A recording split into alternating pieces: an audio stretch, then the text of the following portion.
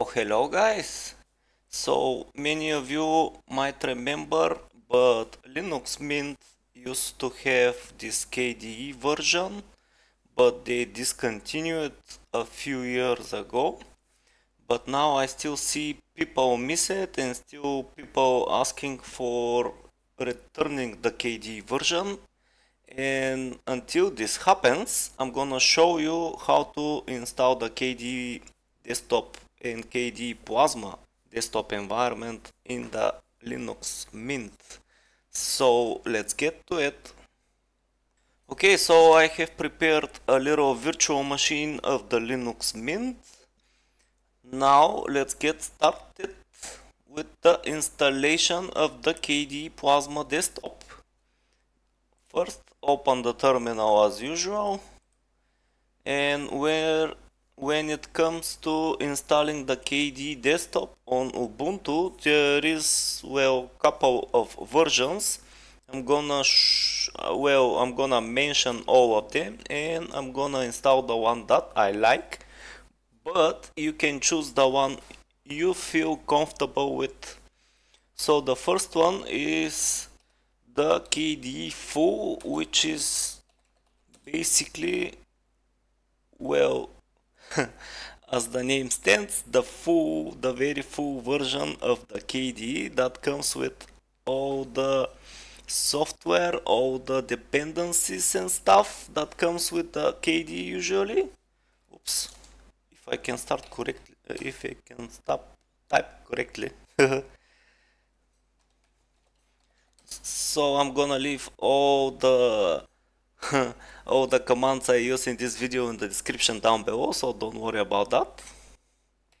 The first one, like I said, it's kde-full. Put down your password, and as you can see, this is a huge, huge, huge list of applications software dependencies that it's going to be installed. This is not my favorite, let's say. Was the size, it's, well, here says 3.6 gigabytes, which is, well, a lot.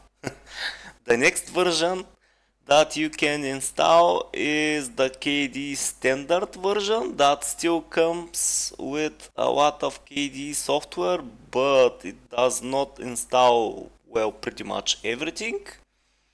And you can install it with sudo apt install kde-standard and as you can see this is about 1.2 gigabytes. Still has a lot of software that needs to be installed. And lastly I'm gonna show you the one that I personally like and I'm gonna really install in this video which is the KDE-Plasma desktop. You can install it with oops come on KDE dash plasma dash desktop. And this is basically the whitest version of them all if you may say that. It still comes with a lot of software but comparing to the previous two it's not that bad so I prefer to install that one instead of the, the first two. And I still gonna remove some of the stuff that are installed by default. But it's much better for me. But if you are the one that prefers to use the very full version of the KDE that's up to you. So let's install it. That might take a little sorry. That might take a little while so I'm gonna well speed up the video here and I'll come back when it's done.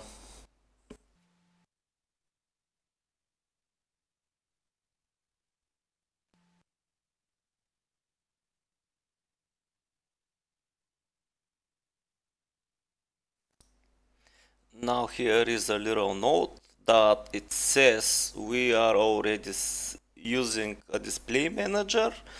Basically I am using the flagship cinnamon edition for installing the KDE just click OK. Now it's gonna ask you which of the display managers it's going to be default. If you like the SDDM just choose SDDM but I like to keep the LightDM as default. I choose that one and click OK. And the installation continues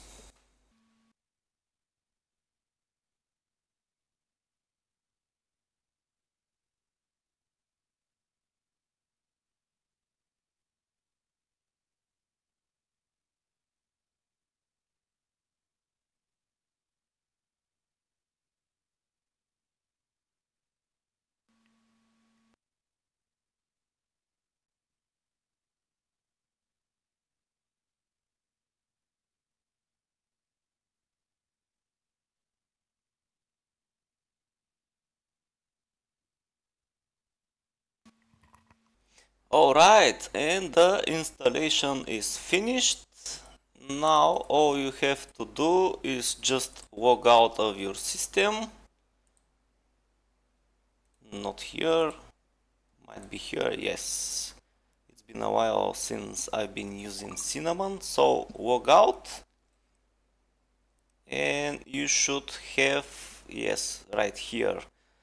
You have the option of choosing the Plasma X11 just put down your password and wait for the Plasma to load. Alright we are running Plasma almost. Yes wonderful. Let me just fix the resolution a little quick